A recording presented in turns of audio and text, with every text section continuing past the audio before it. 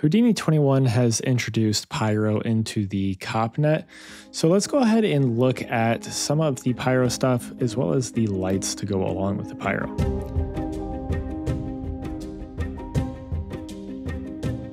So I'm gonna go ahead and drop down a CopNet here and I'm gonna dive inside and I've already got my viewport set up here. I can press D over this and just make sure that we're set to the dark color scheme and turn off our grid. So we get a nice viewport here to look at. And then I can drop down a Pyro configure node. we have three options for this. We have the billowy smoke, the colored smoke, or the dry ice.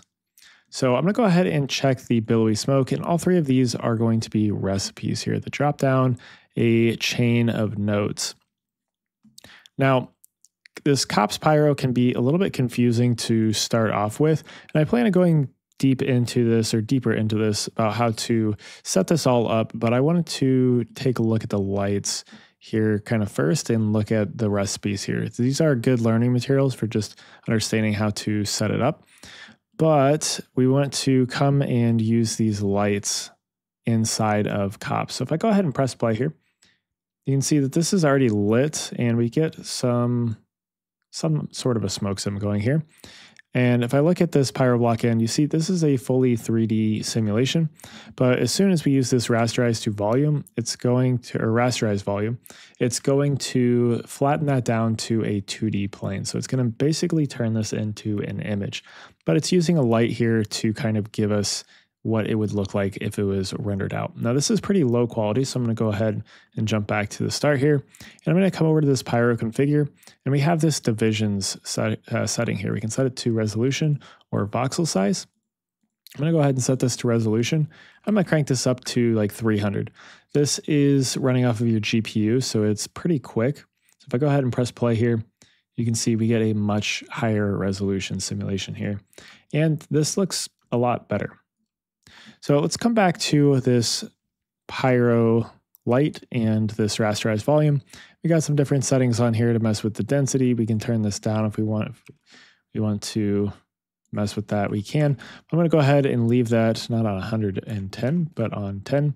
And we can come to this Pyro light ambient here.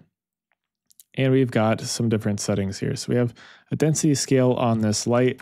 I can turn that down and you can see how that affects our light as well. I'm gonna go ahead and set that back. We can mess with the exposure. These do all of the things that you would expect for the lighting to do. We can also change our color. We can change the color of our ambient light.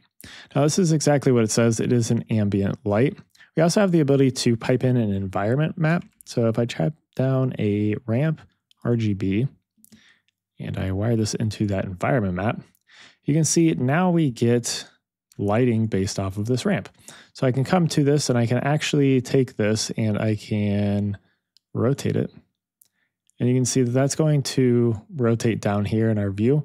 And you can see that that actually affects how our simulation is being lit.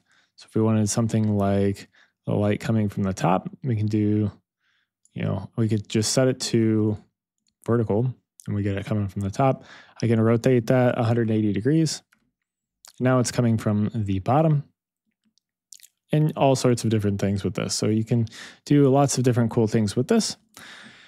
Let's take a look at the other lights here. So we have light from points, which again is going to take in a density.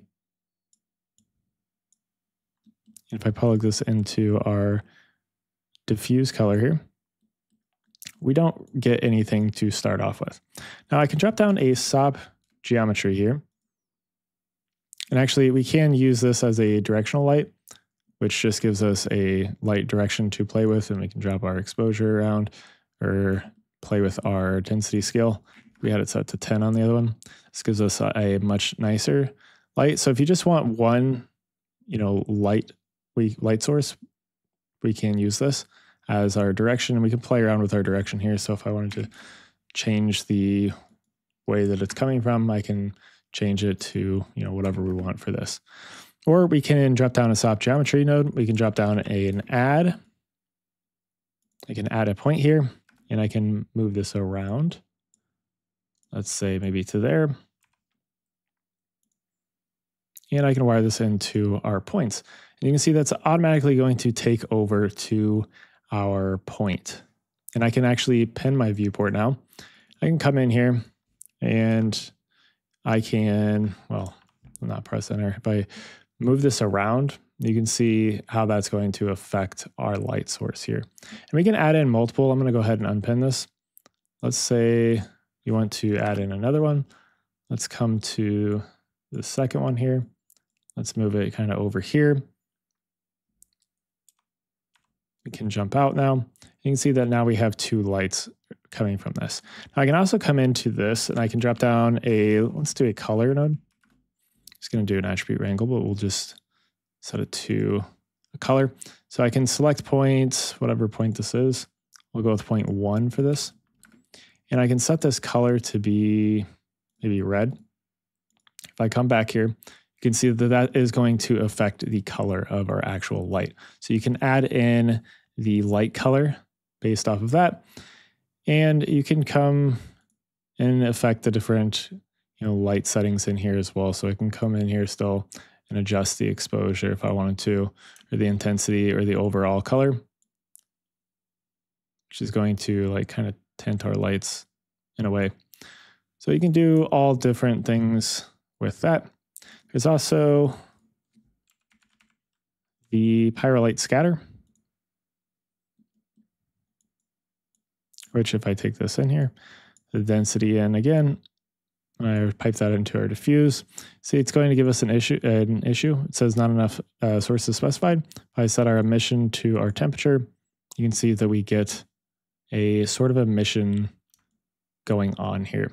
So I can set up our density here like we had, or I can turn down our emission scale. You can play around with it however you want to get whatever you want. You can also come in here and let's say if we like our light, let's go ahead and get rid of this. Let's come back to our ambient light. And maybe we come up with the intensity just a little bit. Actually, maybe I do like that ramp. Let's do that ramp RGB again. And let's come back in here and wire that back into our environment map. But let's maybe change the colors here to maybe a lighter blue. Let's maybe take this bit more towards white. So maybe it's just a little bit tinted blue and it's coming from the top. So we can take that and let's say we like this ambient light from points or the light from points, I mean, we can take this and we can chain them together. So now if I go ahead and lower our exposure here, if I bring this all the way down, you can see that we have our just our ambient light, and then we can bring in some of that light from these light points. And I could come in here and maybe we want to change this color to be a really harsh purple or something then we can get this type of an effect going. So we can chain our lights together just by wiring in the light into the light imports. And then we can wire them into that diffuse color and we can get some lighting going on our actual smoke. So that is how we can use the pyro light sources in combination with that rasterized volume. There's also some different recipes. Like I said, we have this billowy smoke recipe Sorry, that was the one that we just have been using. Go ahead and get rid of those. Uh, the other ones are this colored smoke, which gives us this. Let's maybe come back in here and up the resolution on this one as well. So we can get some colored smoke going on here. Pretty cool simulation here. Get some nice color mixing in there as well. Or the other one is the dry ice. Uh, was that? Yeah, Pyro configure dry ice, which gives us a pig head that has some dry ice like smoke rolling over it. Let's increase this resolution as well. And I can come in here, press play. You can see we get some nice smoke interaction with this pig head.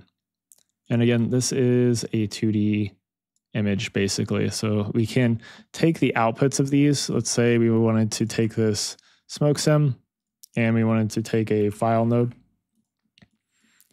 and we can blend our smoke sim over this butterfly. If we did like a screen, you can see that we get our smoke sim over our butterfly there.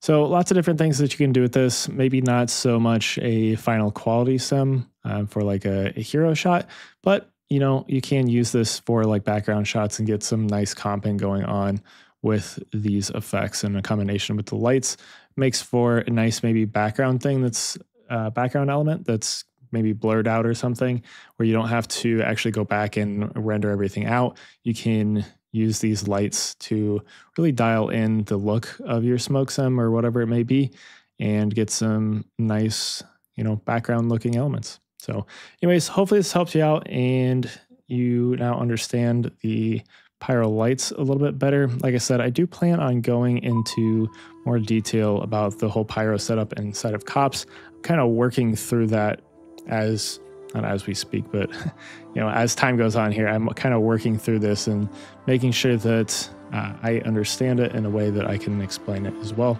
So I will probably have some of that coming up in the future, not too distant future. So stay tuned if you want to learn more about Pyro and Cops. But anyways, thank you guys for watching and have a good day.